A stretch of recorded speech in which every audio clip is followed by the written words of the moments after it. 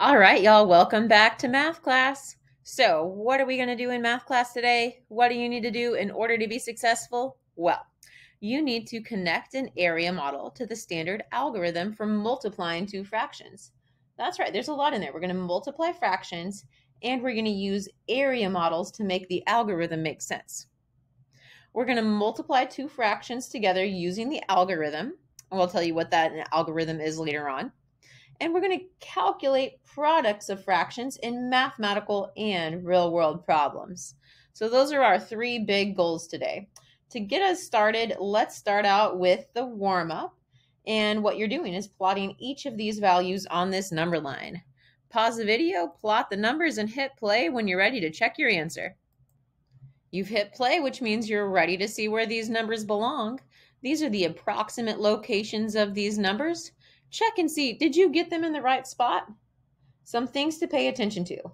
7 halves should be exactly halfway between 3 and 4 because it's the same thing as 3 and a half. 4 and 1 third should be closer to 4 than 3, and 1 fourth should be closer to 0 than 1. This would be 1 half be sure that one fourth is to the left of where one half ought to be. All right, nice job getting started. Let's look at today's essential question. You've already used area models to represent products. What we want to talk about today is how can we use those to represent products of fractions? So here we have a part of a part. Previously in elementary school, you used an area model to represent products to determine factors and to list multiples of given numbers. And you also did that this year in sixth grade during the first week of school.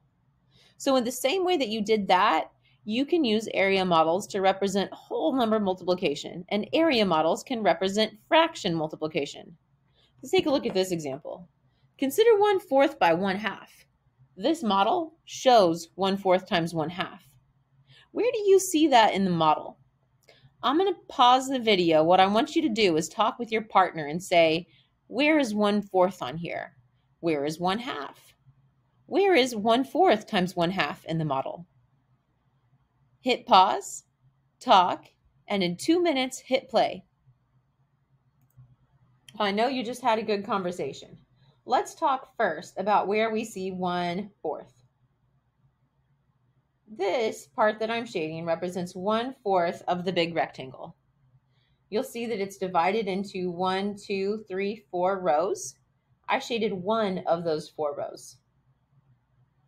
Now, this part right here represents one half of the big rectangle. The big rectangle is divided into two columns, and this pink part is one of those two columns. It represents one half. So if I look at the area that overlaps both of these sections, the area that was shaded two times, this part right here, this is the product of one fourth times one half. This is in fact one half of one fourth or one fourth of one half. And that's where I can see the product of those two fractions in the area model. It's what I get if I multiply one fourth times one half. Let's try it out with some different fractions. Actually, why don't you see if you can do it with a partner? Here's a model that's all set up for you. In this direction, it's divided into thirds. One, two, three.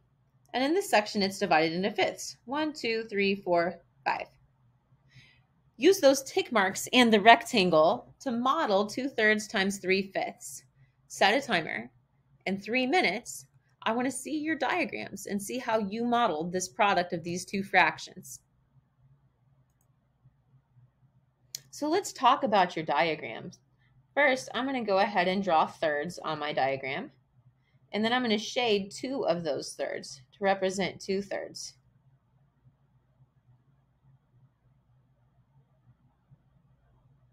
There we go.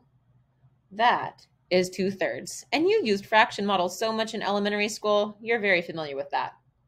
Now let's do three fifths. Let's see, I'm going to divide this into fifths using columns. One, two, three, four, five.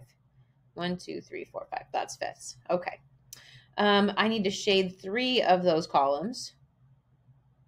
One, two, three. There we go. That's three fifths. Now, where is the product of 2 thirds times 3 fifths?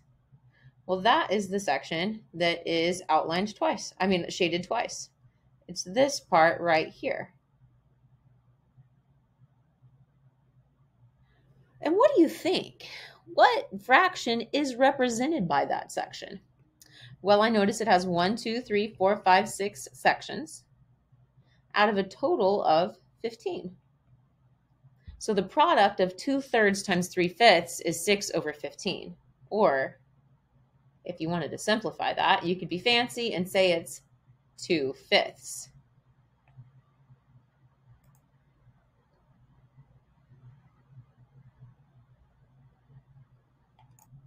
Now, the next question asks us to show how the algorithm for modeling two fractions um, less than one gives the same product as the model.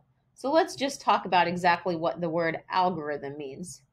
It really just talks about a process or maybe a set of instructions.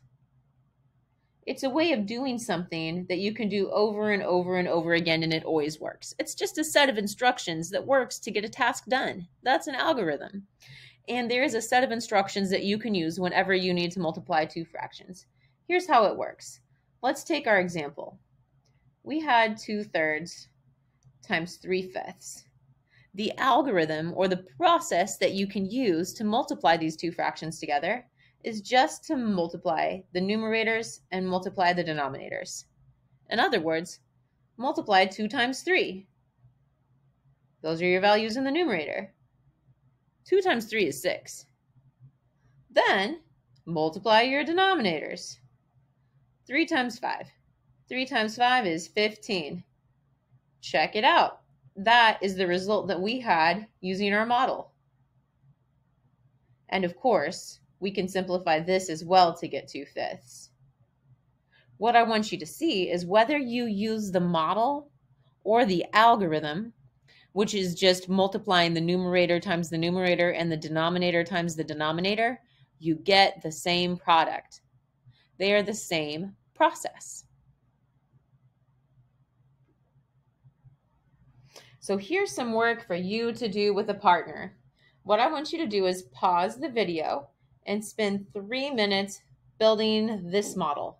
Now there is something a little bit trickier here because we're going to be working with mixed fractions, but you can do it. So think about it with your partner.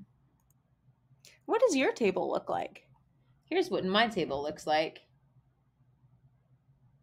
It would be, hang on, this is two and a half. Let me start from the bottom. That's two and a half. And this is three and a half. So my table, just to cut a piece off there and a piece off there. And that's my table. So it's two and a half by three and a half. Does yours look like mine or does it look different? How's it different? How's it the same? Do you think our tables have the same area? Well, now that we have our table, we really want to know what portion of the tiles will Bree use to cover the tabletop. You see how she has some extra ones over here? She doesn't need those tiles, right? We want to know what portion she's actually going to use. I want you just to table that question though for a minute. That means don't answer it just right now. We're going to answer it later. First, we're going to skip ahead a little bit and think about um, another dilemma that Bree needs to deal with. You see, Bree doesn't want to cut the tiles. She doesn't want to cut those one foot by one foot tiles. She probably doesn't have a tool to do that at her house. I don't have a tool that can cut tiles at my house. So, what she's going to do instead is she's going to buy smaller size square tiles that she can use to cover the entire tabletop. So, think about this. Here's here's the um, model of her table again. And remember that we're only going to use part of that. How can you divide this up to model um, how Bree can get her tiles on her table without having to cut any tables? Like what, what size tiles should she buy? Pause the video and work with a partner. I want you to work on this task for four minutes. Set a timer and do some work.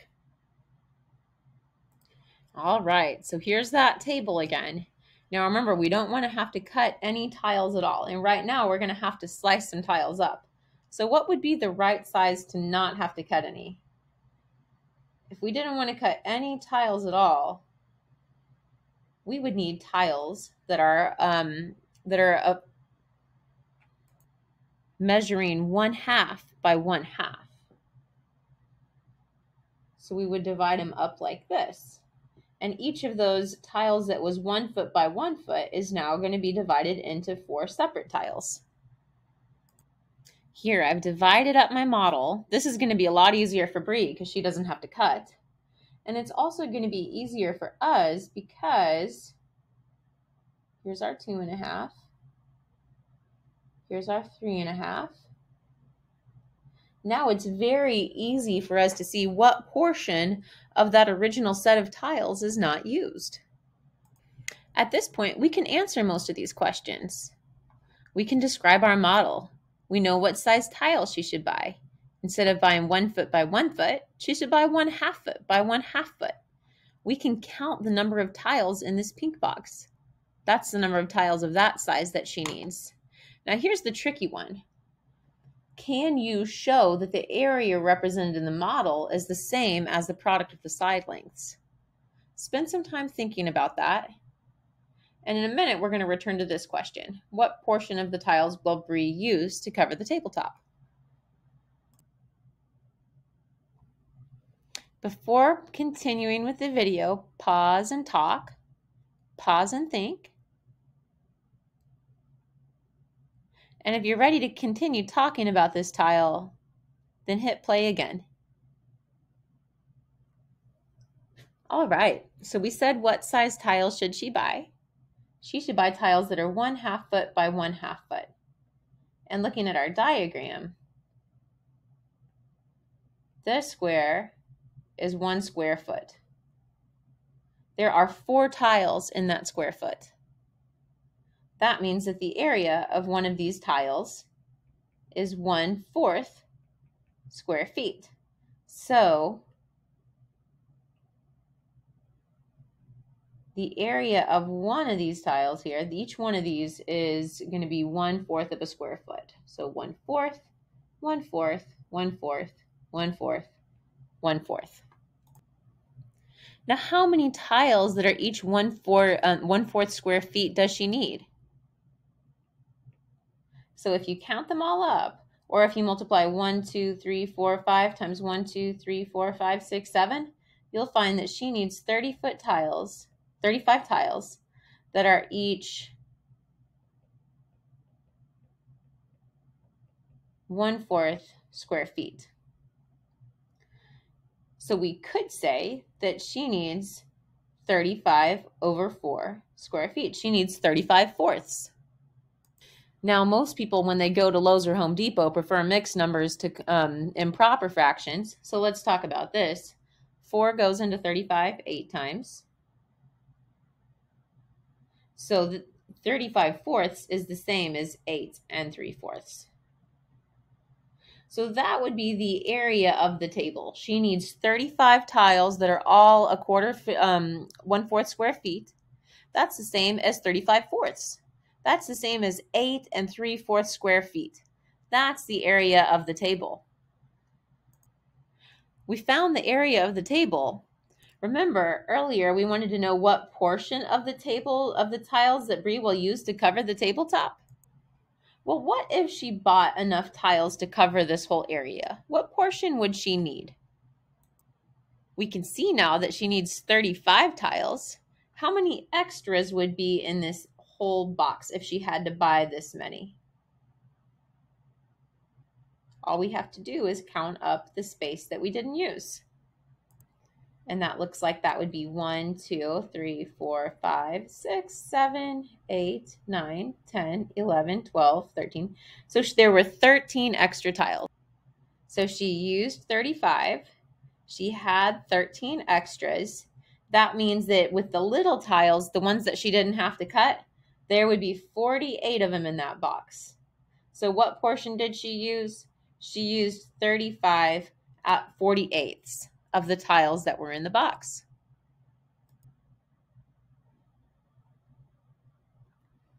You are doing a great job thinking through all this math and thinking about how models connect to algorithms.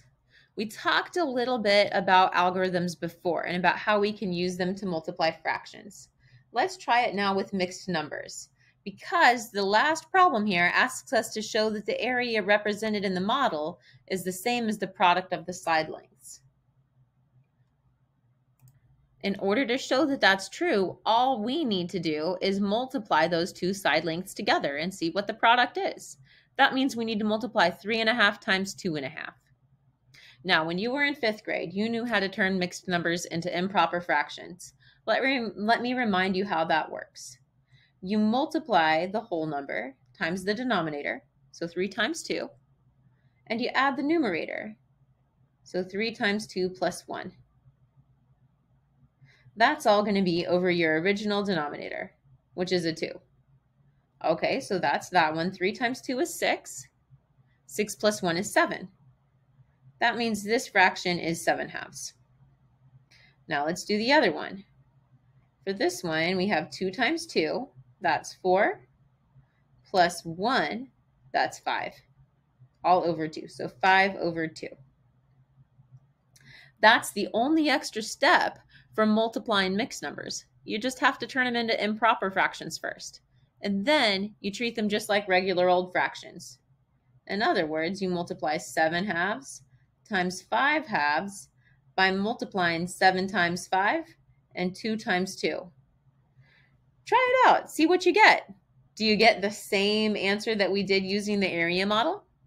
Pause the video and try this with a partner and see if your answer is the same or if it's different. Hopefully, what you're going to find is that you get the same result either way.